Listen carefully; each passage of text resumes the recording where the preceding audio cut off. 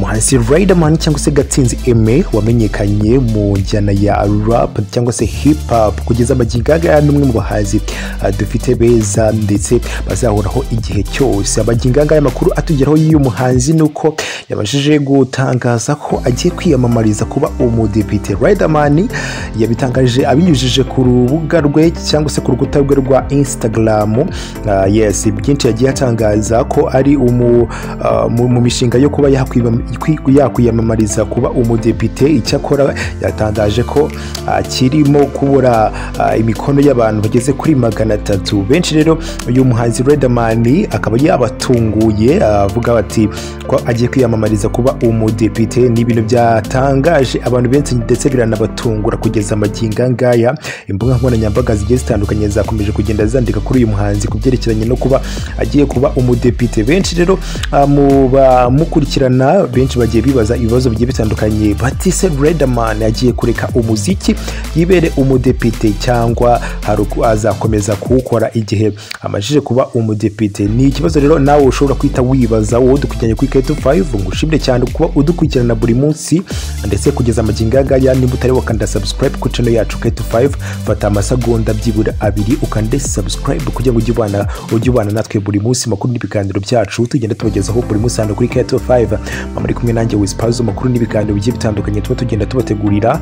Uh, nimba utari wakanda subscribe ikande. Ndagushimiye cyane wowe umaze gukanda subscribe kuri channel yacu keto 5 ni iby'agaciro gakomeye cyane.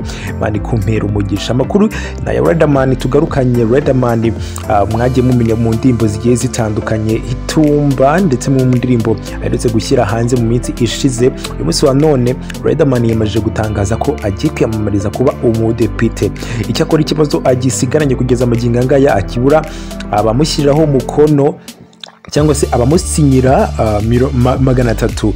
Uh, bose uyu munsi wa none rero Riderman akaba yabitangaje abinyujije ku rubuga rwe rwa Instagram. Riderman yanditse ati ndabura imikono magana atatu gusa ngo mbashe kwiyamamariza kuba umudepite. Ese mwamfasha kuri uyu uh, kuyuzuza? Yes ni byo yagiye yandikira nyine abakunzi bamukurikirana. Ese mu Rwanda byashoboka ko umurasta aba depite? Uhagarariye urubyiruko. Yes ni byo yagiye atangaza nyine anyujije ku rubuga rwe rwa instagram. Arongera ati ese ni ibiki mwifuza ko uh, ko depite ahagararira urubyiruko yavuganira urubyiruko? Ese aba depite bahagarariye urubyiruko uh, mu myaka yashize yashize umusaruro wabo? Murawubona. Ni izihe mpinduka urubyiruko rwifuza mu nteko nshinga mategeko. Nibyo Riderman nyine agiye akomeza yandika. Ibi turi kugenda tubisoma ku rubuga rwa youtube. Ndetse ni igihe com yagiye ibyandikaho uyu munsi wa none akomeza avuga ati mu kiganiro gikomeye nyine yagiranye n'igihe com. Riderman yavuze ko ibyo kwiyamamariza ibyo yiganiriraga nk'uko yanabyanditse ariko mu by'ukuri yifuzaga kureba ibitekerezo by'abamukurikirana ku ngingo zinyuranye yatangaje. Yes Riderman yavuze ko nta gitekerezo cyo kwiyamamariza nk'umukandida wigenga afite. Yongeraho ko ari kwishimira kubona uburyo abantu bamufitiye icyizere nk'uko bari kubimugaragariza mu bagenda bamwandikira ngo ni ibintu nyine yatekereje kwiyandikira. Ndetse agira ngo acekinge cyangwa se yumve uburyo abantu babivuga naho ubundi ngo nta gahunda afite yo kwiyamamariza kuba depite. Ese byaba ari ukwikinira cyangwa Riderman yaba koko yara yara yara purayinze cyangwa se mu bijyanye no kuba yaba umudepite kugeza amagingo angaya abantu rero benshi bagiye batanga komenti zigiye zitandukanye kuba mukurikirana kuri instagram bati Riderman turagushyigikiye kandi twifuza kuba twaguhereza iyo mikono. Ni benshi bagiye bamwandikira kuri instagram ye ndetse aranabashimira abashimira kubw'icyizere bamuhaye bamuha nyine cyo kuba yaba depite yaba depite nyine hari byinshi nyine yaba yahindura. Gusa nka keto 5 dukomeje kugenda dukurikirana turebe neza ko uyu muhanzi nimba koko yakinaga cyangwa se nimba koko agikomeje.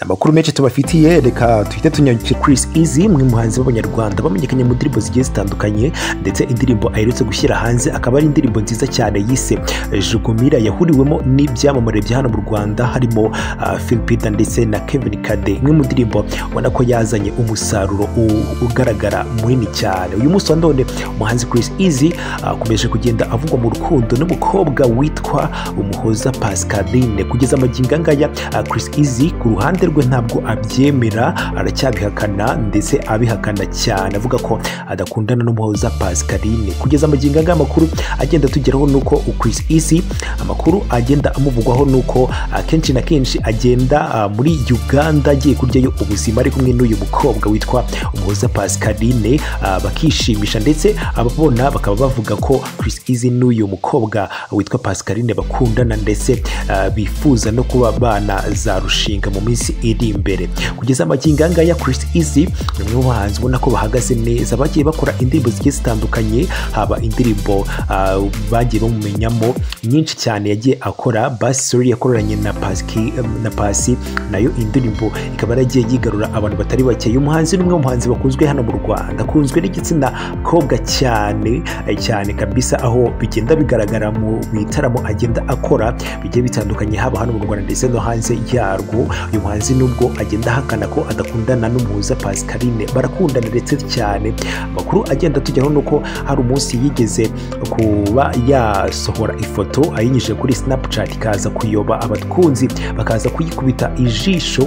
Ah, rero bari ari kumwe ah, n'umuhoza Pascaline. Abantu kuva ubwo batangira gukeka ko umuhanzi Chris Easy akundana n'umuhoza Pascaline. Umuhoza rero Pascaline n'umwe ah, mu bigeze guhatanira ikamba rya Miss bibiri na makumyabiri na kabiri kugeza amagingo aya ngaya. Ni byinshi cyane uyu Chris Easy agenda akora haba n'umuziki muri rusange ah, umuziki we uhagaze neza kugeza amagingo aya ngaya. Ngaya nguko n'amakuru y'umuhanzi Chris Easy andi makuru ni uko umuhanzi witwa Bwiza yamaze gushyira hanze indirimbo yakoze remix ayikoranye ah, na Dani Vumbi kugeza amagingo aya ngaya. Ni indirimbo yaje kurebwa n'abantu batari bakeya. Ni indirimbo ubona ko ari indirimbo yasubiwemo neza. Aho iyi ndirimbo yakozwe na producer witwa Kize imwe mu ndirimbo nziza cyane ushobora gukurikirana ku rubuga rwa YouTube bw'uyu muhanzi bwiza. Imwe mu ndirimbo ubona ko yazanye ya- yazanye ah, udushya tugiye dutandukanye bitewe n'uburyo uyu muhanzi uyu mukobwa yisubiyemo neza yisubiyemo neza kabisa. Iyi ni remix kabisa ije ah, izanye ah, agashya gakomeye cyane. Nagerageje kureba video y'iyi ndirimbo ni imwe muri video nziza cyane udashobora gucikwa ikurikirane kuri YouTube channel y'uyu muhanzi. Ni amakuru menshi tubafitiye ndaje mu kanya turebera hamwe n'andi makuru menshi tuba tubafitiye kuri uyu munsi wa none.